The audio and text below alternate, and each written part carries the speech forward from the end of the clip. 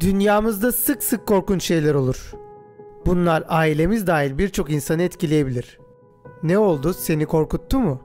Kötü şeyler olduğunda korkmak, üzülmek, hatta sinirlenmek bile çok doğaldır.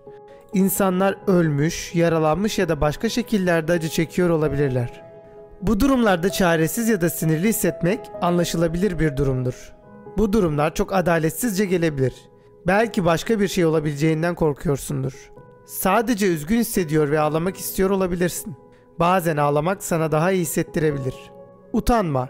Tek ve yaşayan Tanrı senin nasıl hissettiğini biliyor ve seni anlıyor. O bile korkunç bir şey olduğunda üzülüyor. Belki de düşünüyorsun. Tanrı beni tanıyor mu? O beni önemsiyor mu? Evet, yaşayan Tanrı seni tanıyor ve önemsiyor. O her şeyi biliyor. Dünyayı Tanrı yarattı ve her köşesinde olup biteni biliyor. Hiçbir şey onun için sürpriz değil. Kazaları, savaşları ve saldırıları biliyor. Korkunç fırtınalardan, sellerden ve depremlerden haberdar. Tanrı sana ve ailene neler olduğunu biliyor.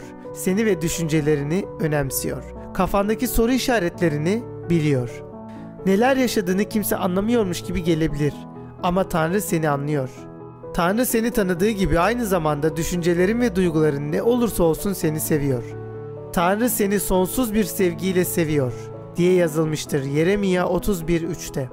Tanrı seni yarattı ve seni herkesten iyi tanıyor. Belki sen şimdiye kadar Tanrı'yı pek düşünmedin ama o seni düşünüyor. Öyle değilmiş gibi göründüğünde bile her şeyin onun kontrolünde olduğunu bilmeni istiyor.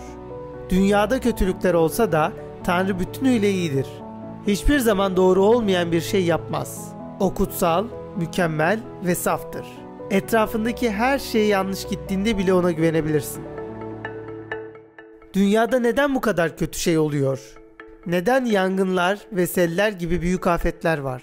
Kavga ve ölümler neden var? Böyle kötü şeyler her zaman burada değildi. Tanrı dünyayı yarattığında onu mükemmel yarattı. Her şey güzel ve iyiydi. Peki ne oldu? Ters giden neydi? Terslikler ilk insanlar Tanrı'yı görmezden gelmeyi seçtiğinde başladı. Tanrı'ya itaat etmek yerine yapmak istediklerini yaptılar. Tanrı'ya itaatsizlik etmek günahtır. Günah dünyaya girdiğinde Tanrı'nın mükemmel yaratılışını bozdu. Doğada kötü şeyler olmaya başladı. Fırtınalar, hortumlar ve depremler gibi. Acı ve ölüm gibi şeyler dünyaya günahtan dolayı geldi. Daha kötüsü o zamandan sonra herkes günahlı doğdu. İnsanlar günahtan dolayı nefret, kavga ve öldürmek gibi başkalarını inciten şeyler yapıyor. Korkunç fırtınalar veya depremler için hiçbir şekilde suçlanmayacaksın. Anne ve babanız boşanmayı seçerse bu sizin hatanız değildir. Ama günah seni ve bizi Tanrı'dan ayıracaktır. Günahtan dolayı acı ve ölüm var. Kutsal kitap günahın dünyaya geldiğini ve yanında ölümü getirdiğini söylüyor. Romalılar 5.12'de görebiliriz. Günah dünyaya birçok kötülük getiriyor ama kontrol her durumda Tanrı'nın elindedir. O, neyin olup olmayacağına karar veriyor. Tanrı bunun olmasına nasıl izin verebilir? Bazen Tanrı bizim anlayamadığımız kötü şeylerin olmasına izin verir. Bu şeyler günahın sonucudur. Tanrı'nın günahkar eylemleri durdurma gücü vardır. Ama o insanlara tercih özgürlüğü vermiştir. Bunlar kötü tercihler olsa bile. Tanrı'nın doğa üzerinde de gücü vardır.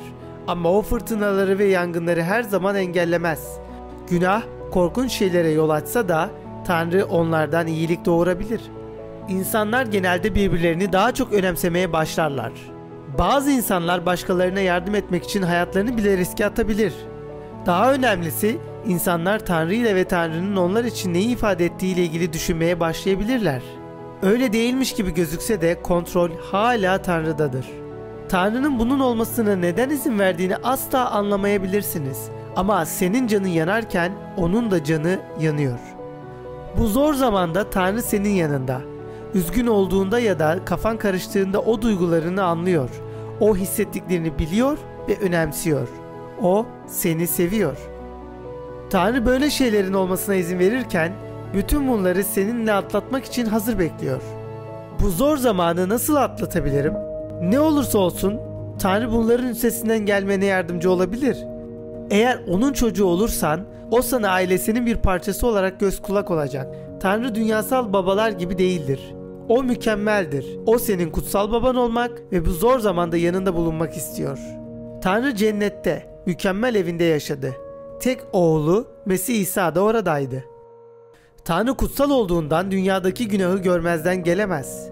Günah cezalandırılmalıdır. Kutsal kitap bize günahın cezasının ölüm olduğunu söyler. Romalılar 6.23'te görebiliriz. Ölüm korkunç bir yerde Tanrı'dan ayrı olmak demektir. Tanrı'nın günah problemini çözme planı senin ve benim hak ettiğimiz cezayı yüklenmesi için kendi oğlunu göndermekti. Tanrı oğlu olduğundan İsa günah işlememiş tek kişiydi.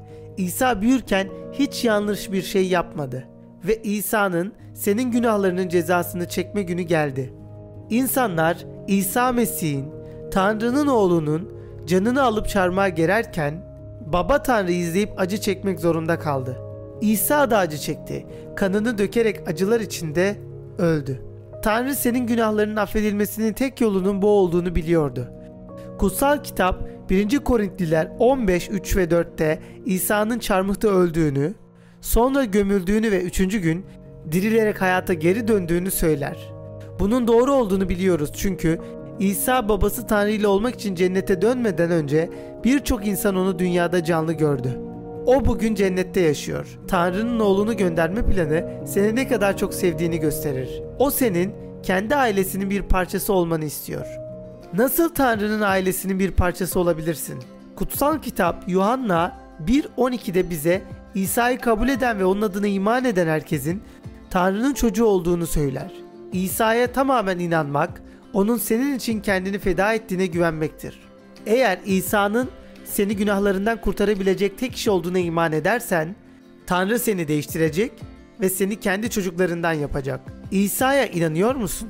İsa'ya inanmak verebileceğiniz en önemli karardır. Tanrı ile bu karar hakkında konuşabilirsiniz. İsterseniz şu anda Tanrı ile konuşabilirsiniz. Şuna benzer kelimeler kullanabilirsiniz. Sevgili Tanrım, günah işlediğimi biliyor ve özür diliyorum. İsa'nın benim için ölüp dirilmiş olduğuna inanıyorum. İsa'yı kurtarıcım olarak kabul edip senin ailenin bir parçası olmayı diliyorum. Teşekkür ederim. İsa Mesih'in ismiyle amin. İsa'yı kurtarıcın olarak kabul ettiğinde Tanrı günahlarını affeder ve seni çocuklarından yapar. Kutsal baban Tanrı hissettiğin acıyı iyileştirmek için sana yardımcı olacak. Bir gün acı, keder ve ölümün olmadığı cennette Tanrı ile yaşamaya gideceksin. İsa dünyaya döndüğünde günahın dünyada oluşturduğu bütün sorunları iyileştirecek. Dünyayı bir kere daha mükemmel kılacak. Onunla her zaman her şey hakkında konuşabilirsin. İşte bu dua etmektir. Onunla her şey hakkında konuşabilirsiniz. Dua etmenin anlamı budur. Ona başka bir kimseye söylemek istemediğiniz şeyleri söyleyebilirsiniz.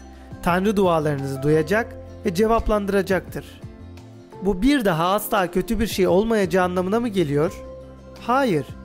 Dünyamızda kötü şeyler her zaman olacak. Ama Tanrı'nın her zaman seninle olacağını bilmelisin. Seni asla bırakmayacağını İbraniler 13.5'te söyleyerek söz verdi. Kutsal kitap aynı zamanda Rabbin yardımcımız olduğunu söyler. Korkmana gerek yok. İbraniler 13.6'da Tanrı'ya güven. O senin her şeyi atlatmana yardım olacaktır diye söylüyor. Tanrı seni o kadar çok seviyor ki sana İncil adında bir kitapla sözlerini paylaştı. Mezmur 145-18 ayetlerinde zor zamanlardan geçtiğinizde yararlı olan birçok pasaj vardır. Bu ayetleri ezberleyebilirsiniz. Üzgün veya korku hissettiğinizde onunla konuşun. Her zaman Tanrı'nın sizi sevdiğini ve onda büyürken size yardım etmek istediğini unutmayın.